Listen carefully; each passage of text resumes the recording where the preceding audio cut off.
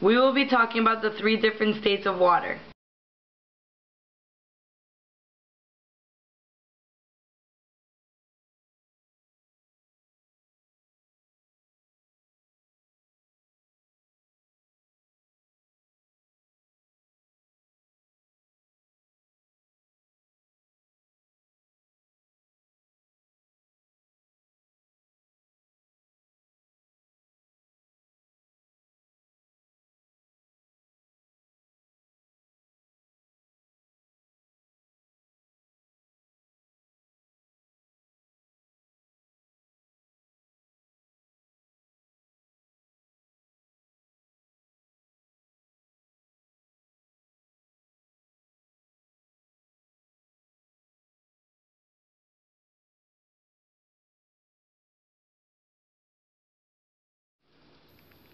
Gas. The process in which liquid changes into gas is called evaporation. In order for liquid to change into gas, water must be at a boiling point of 100 degrees Celsius.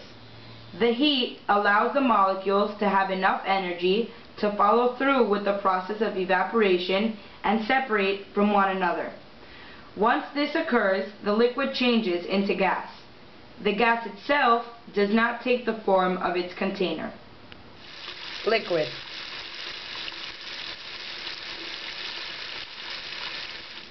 Liquid is formed through the process of melting ice. Liquid is able to flow and take a shape of a container. In liquid forms, the molecules of water are more separated than in solid form because through the melting process, the molecules separate to form into liquid. Hydrogen bonds are created between the different molecules of water. This is an example of what hydrogen bonds look like in the process. Water in the solid form is ice. Water in solid form is ice. Ice is created through the process of freezing water. When ice is frozen, it expands and the volume becomes more dense which allows it to float. The solid form of water has many molecules placed tightly together connected by hydrogen bonds.